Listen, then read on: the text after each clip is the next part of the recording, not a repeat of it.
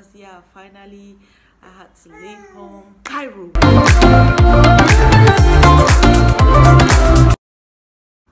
Hey guys welcome back to my youtube channel. This is your girl chocolate puma and thank you for keeping up with my crazy stories. This is a story time about how i got so sick i could not make the difference between positive and negative. Yeah so this was back in 2012 i was writing my advanced level within this time i was already sick and yeah we have been to the hospitals we had even tried traditional medicines but I'll get better and then I'll get sick again. I'll get better and then I get sick. So it was on and off, on and off. And after the advanced level, I was just waiting for the results, excited to leave home. I was about, you know, freedom finally. I was about going to a different city, you know. And when the results came out, thank God I made it. But once the results came out, I was still back in bed with being sick and so I could not make it to some of the universities on time for the registrations and all of the University of Dschang was left and yeah it didn't matter what city all I wanted to do was leave home and freedom for me finally and so I decided to move to Dschang I got to Dschang on a Sunday did my registrations and all some of my friends helped me in searching for a house and I spent like a week. So I got back to my city on a Friday with the intentions of getting my bed and my clothes, my like my rent, and then go back to Dschang on Sunday.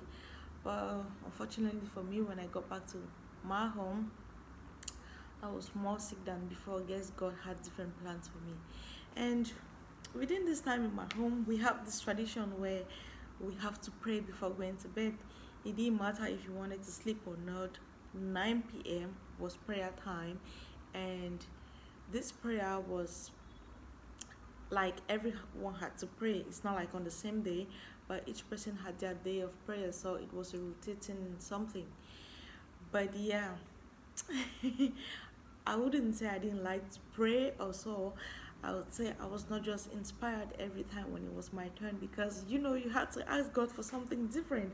And some days I just wanted to sing or just say, Heavenly Father, thank you, but that wouldn't be enough in the eyes of my mom. So what I'll do is I'll just go to bed at 8 or 8 p.m. and no matter how much you try waking me up, I wasn't gonna wake up for prayers. And so, you know, everyone thought I was running away from prayers, I was a devil and all. But the way I was sick, I thought my end was approaching. I thought I was coming to my end. So we have this family friend of ours who's a priest and he always come around home. He, he's so fun so he'll come and then make jokes and all. So this Sunday he was home and I was dying in the bedroom. So when I heard him talking, I left the bedroom and I went to the living room and I was like, bro, please pray for me. My mom in her drama just started crying. Like, how can I possibly ask for prayers? Me who's always running away from prayers, like I'm about to die. If I'm asking someone to pray for me, if I'm ready for prayers, then I'm about to die. and she started crying. He tried calming her down, then he prayed for me. So the next day, we tried a different hospital, and this time a private hospital. So when we got to the hospital, I had to do a bunch of tests written by the doctor, and one of these was HIV/AIDS. And the thing with this hospital is before doing this HIV uh, test, you have to go for counseling. Like you'll be sent to a room where you'll be counseled, you know, before you go to the lab. So I was sent to the 18 where I had to be cancelled and yeah, after that I moved to the lab.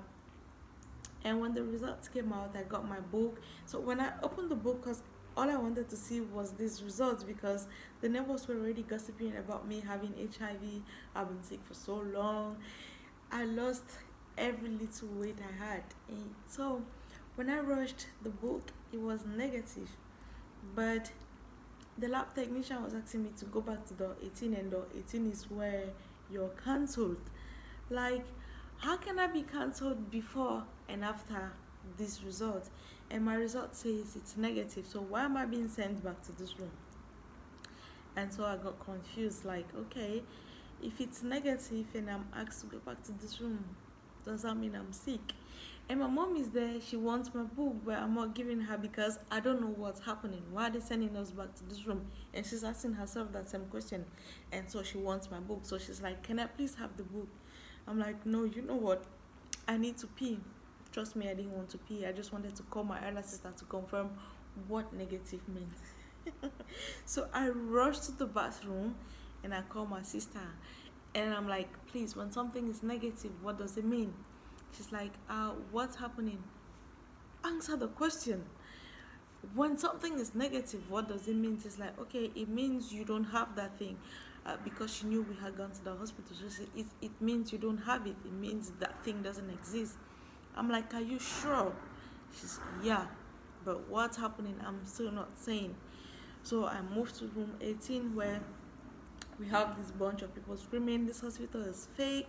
I'm not sick and also i'm panicking because people are screaming and i'm mixed with them. Mine says negative but i'm sent back here and people are there screaming they are not sick. Why are they sent back here? You know my temperature is rising my blood pressure is rising but I just had to win. And then thank God when I got in, the mom was like, okay, you don't have HIV AIDS why was I sent here in the first place? This just made me more sicker than I was ever before.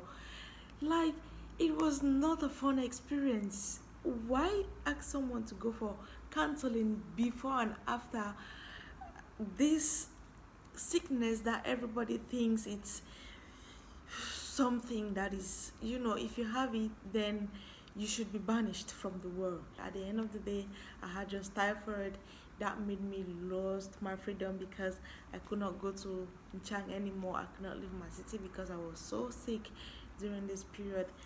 Guess God had different plans for me and yeah, it was just crazy, crazy, crazy, crazy. With the neighbors gossiping and the doctors asking me to go for counseling before and after the test results. You know, it was a crazy experience. Thank you so much for watching and if you're a returning subscriber, thank you for the love thank you for the sharing because i hope you're actually sharing. I hope you're liking and commenting.